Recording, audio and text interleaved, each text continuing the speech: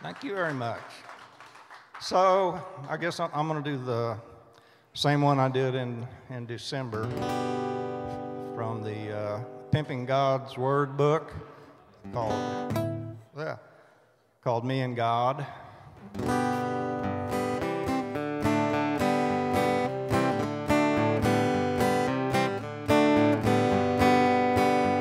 I was talking to God just the other day, and I know He really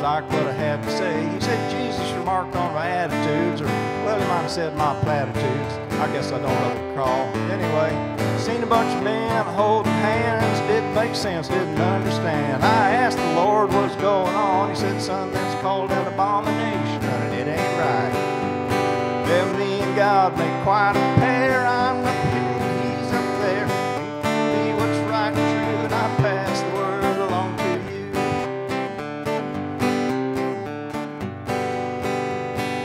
Little Ford Mustang in the snow, slipping and sliding, just won't go. Loaded them folks in my 4x4 and dropped them off at the church front door for their salvation. Took a little trip to the Holy Land, walked across the burning sand, burning sand, burning bush. Found God in a bowl of Hindu Kush.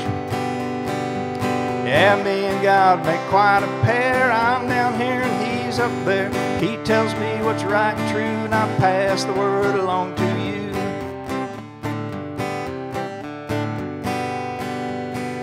God can't abide a sinner like you because he sees all the terrible things you do. He told me to set you straight. I just hope it ain't too late. Yeah, God loves me and He throws you scorn. I reckon that makes you feel forlorn. But I ain't ashamed to blow my horn. I knew I was special from the day I was born.